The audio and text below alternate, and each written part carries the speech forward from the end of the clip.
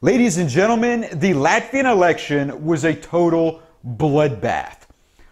The parties that won first, second, third, and fourth place in the 2018 election were all completely wiped out.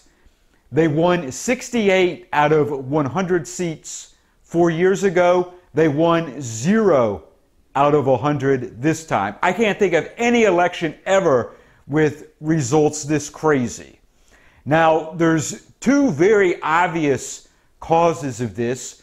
The first is Latvia had one of the most extreme lockdowns, one of the most extreme vaccine mandates. And so part of this is the fallout from the lockdown and the mandates. And part of this is because of the Russo Ukrainian war. Latvia is nearly a quarter Russian and they are most concentrated in the southeastern corner. So obviously, there's going to be some bitter divisions that arise over the war going on right now. Now, to explain this, I need to go back to the 2018 results. Seven parties made the 5% national threshold and were awarded seats. The first place party was Harmony, which are the Social Democrats and they're gone. Boom. No more seats this time. Then you had uh, Who Owns the State? Second place with 14.3%. This was uh, basically a conservative party. Now, they had already been imploding for a while now and forming different factions, and some of their members had defected to other parties, but boom, it's completely gone. Then you had the New Conservatives with 13.7%. They are an establishment center right party, part of the EPP. Boom, they're gone. Then you have Development 4. Now, this is essentially Latvia's version of an Emmanuel Macron style party. Basically, uh, centrist, classically liberal, pro business liberal. Now, Keep in mind that in America a long time ago, the word liberal became a euphemism for leftist. That's not actually what it means in Europe. A liberal can be a leftist in Europe. They're not necessarily a leftist. But at any rate, it looked like they were going to get slightly over the 5% threshold. But then, once about 99.5% of the votes were counted, they dipped below 5%. Right now, they're at 4.97. There will probably be recounts. The official results will probably be delayed for days because of this. But as it stands right now, boom, they're wiped out, zero seats. Now, the other three parties that won seats in 2018 are National Alliance. This is Latvia's nationalist conservative party, uh, demonized by the mainstream media. Now, National Alliance has been part of the ruling coalition since the 2014 election. So, anytime for many years now, when you see an article in the so called mainstream media and it says countries in which an evil bad boy far right party is part of the government. Latvia has always been on the list uh, because of National Alliance, and they are back. And then you've got the Union of Greens and Farmers, and this has been a big party in Latvia for a long time.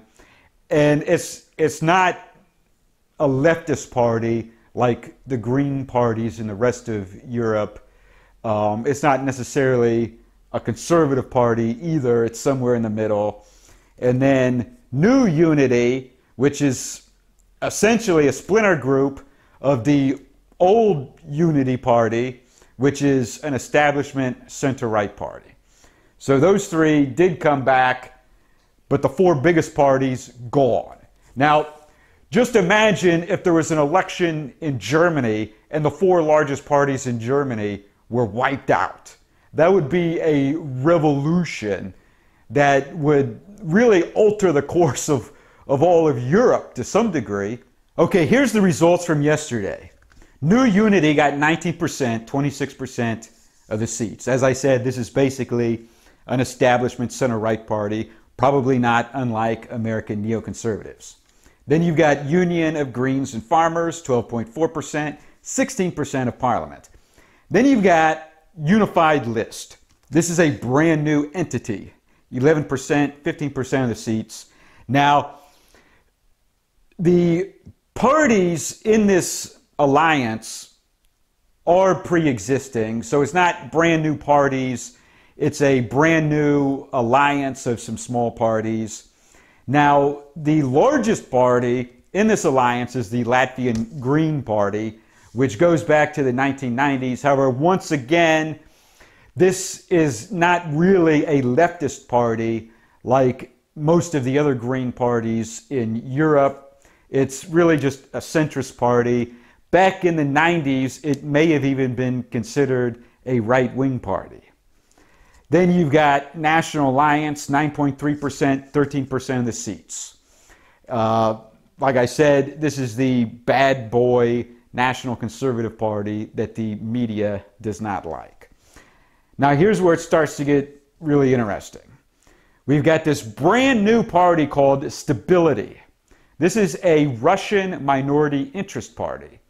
And they got 6.8%, 11% of parliament, now, in 2018, the main Russian minority interest party only got 3.5% of the vote.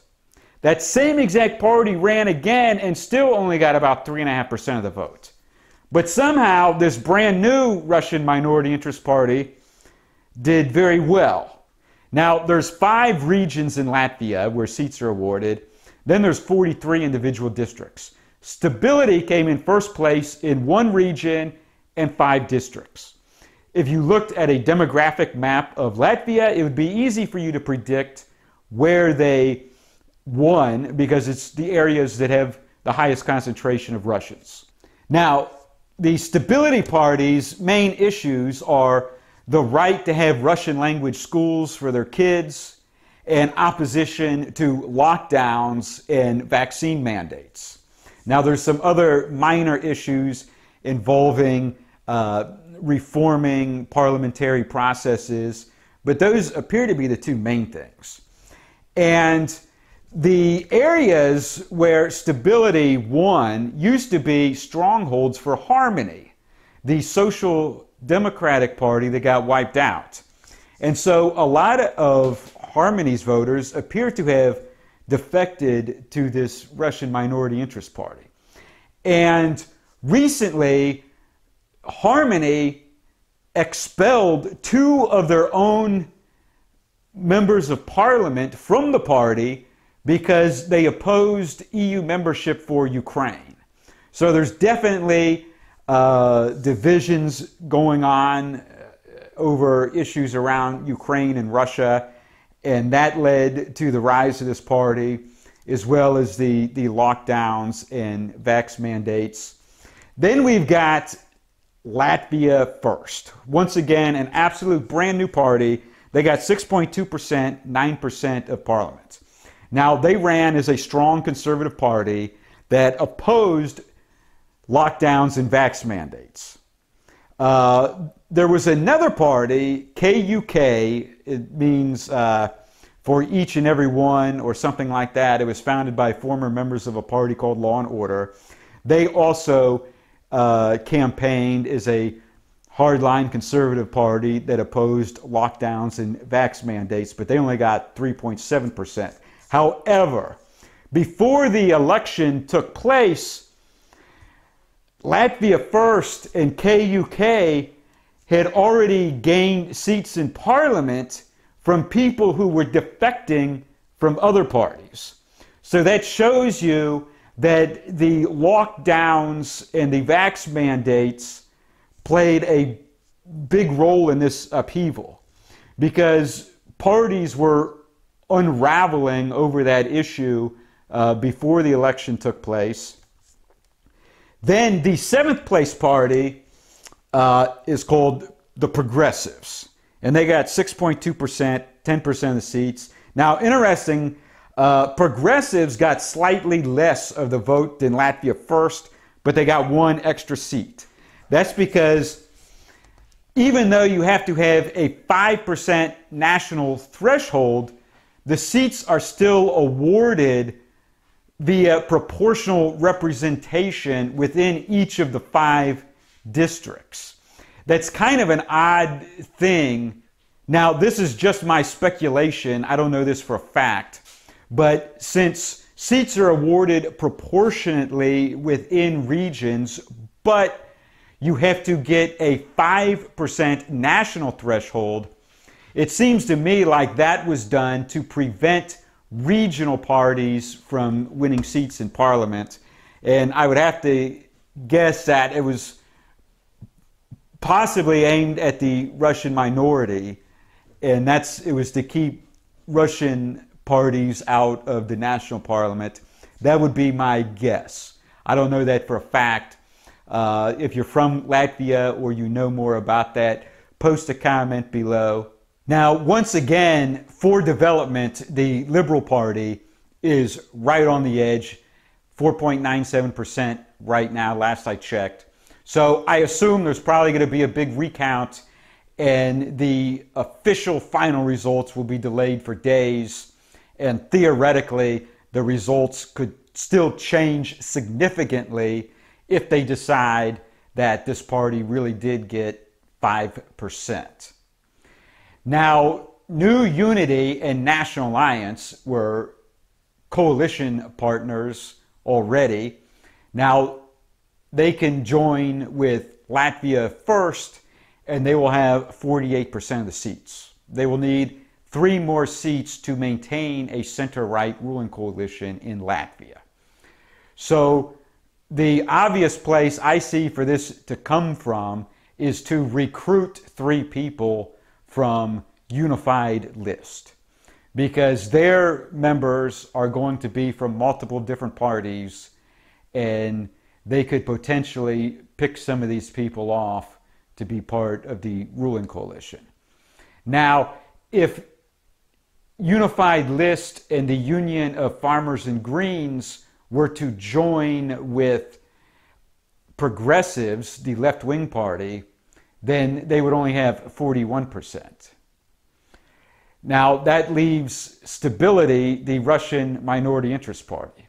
Now, just because it's a Russian minority interest party, there's people on both the left and the right who might very strongly object to coalitioning with them.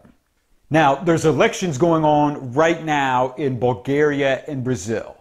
I will have more videos coming up soon. All right, thanks for watching this. Click the like button, post a comment below, tell me what you think about this. Please subscribe to my backup channels on Odysee and BitChute because there's no telling when YouTube might suddenly delete this channel. And you can support me on Subscribestar and Patreon. Links in the description below.